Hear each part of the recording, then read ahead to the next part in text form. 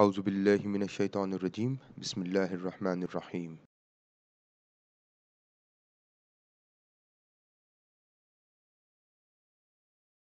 In this session, we are going to run multi-group analysis with constraints in order to find out whether a relationship is significantly different in the two groups or not. Group analysis.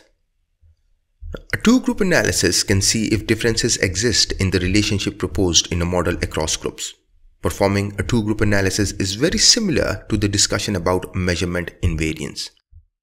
Now, it's normally recommended if you are doing a group analysis, you conduct measurement invariance tests.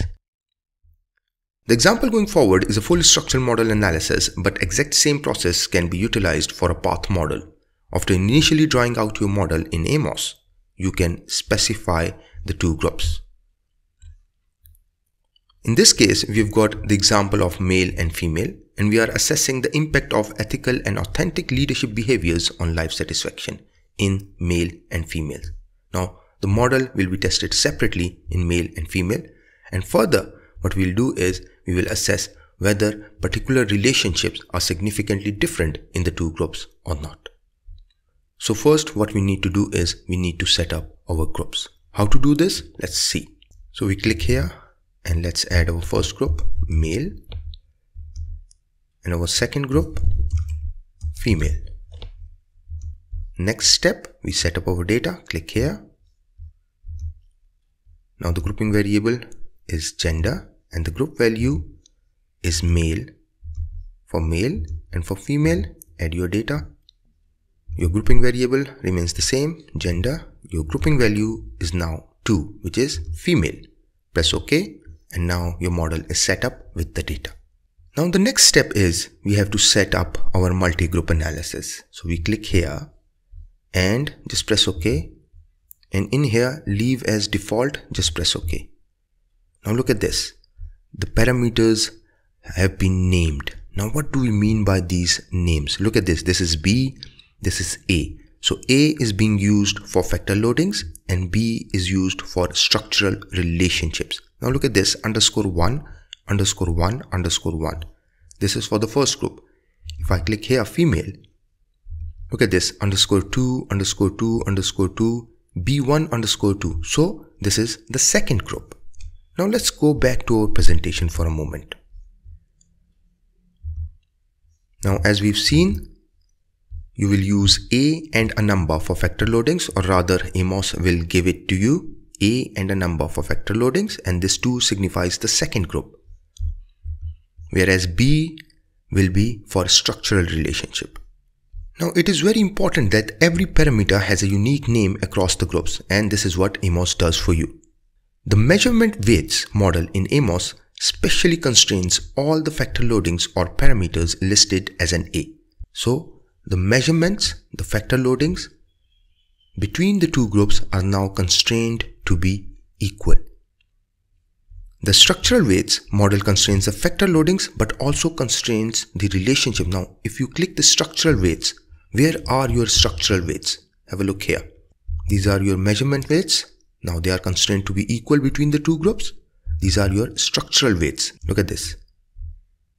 If you click structural weights, these are your two structural weights constrained to be equal between the two groups and these are your measurement weights along with your structural weights when you click structural weights. Now why are they constrained to be equal? Because when we are checking measurement model invariance, we want the two groups to behave in a similar manner. Now if we run the model now, let's run the model. And if we go to the output and if we look at the estimates, here click the estimates and look at this. For male, the impact of behaving ethically on life satisfaction is significant. Is it significant for female? Yes, it's significant for female. But I'm not interested in separate assessment of significance in male and female. I want to assess whether this relationship here, behaving ethically on life satisfaction, the difference of impact, is it significant? Is there a significant difference in how behaving ethically affects life satisfaction in female and how it affects in male. So I'm interested in assessing whether the impact is significantly different in both groups. Now this is not possible here because I'm not getting any significance value for the difference of impact. Now in order to do this, what I will need to do is I will need to create constraints. So what you need to do is you need to create a new constraint whereby you constrain the two relationships. Now if we run the two group analysis just as we did, this will tell us if male and female respondents are different as a whole. The analysis is examining all the relationships in the model across the groups. If we find differences in this model, it tells us only the groups are significantly different as a whole. It gives us no indication exactly where the models are different. You might have one relationship that is significantly different across the groups and all other relationships may be not significantly different. Hence, we need to draw a new model. Now, how do we draw the new model? You just need to create a new model like this. And if we click structural weights, and we want to constrain behaving ethically and life satisfaction. This is b1 underscore 1 and b1 underscore 2 you can just copy it from here. Copy and click new. And let's say we name it constraint underscore 1 just paste your parameter constraints here and click close. Now you have created a new constraint. Now before we run this let's go back to our presentation for a while now we have constrained the relationship as this. If we move on, reason for constraint is that we would like to know that is this relationship significantly different across groups. Now the relationship, this one in male and this one in female, is it significantly different between the two groups? Now let's say we run our model. I want to know whether this significance of impact in male is significantly different from female. Is it?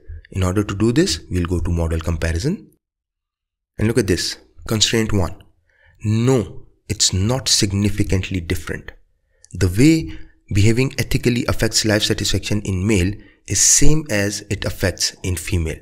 So the relationships in both male and female are not significantly different because the p-value here is greater than 0.05.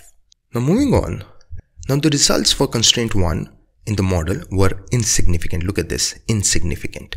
And this shows that there are no significant differences in the impact of behaving ethically on life satisfaction in male as compared to female. Now that we know that the difference of impact is insignificant, but what if this was significant? We would further go and assess which relationship is stronger is it stronger in male or stronger in female? And for this, we would have gone to estimates. In the estimates, we would have gone for standardized regression weight to assess the strength of relationship. How do we do this? Go to estimates. And here, look at this. For female, it is 0.514. And for male, it was 0.521.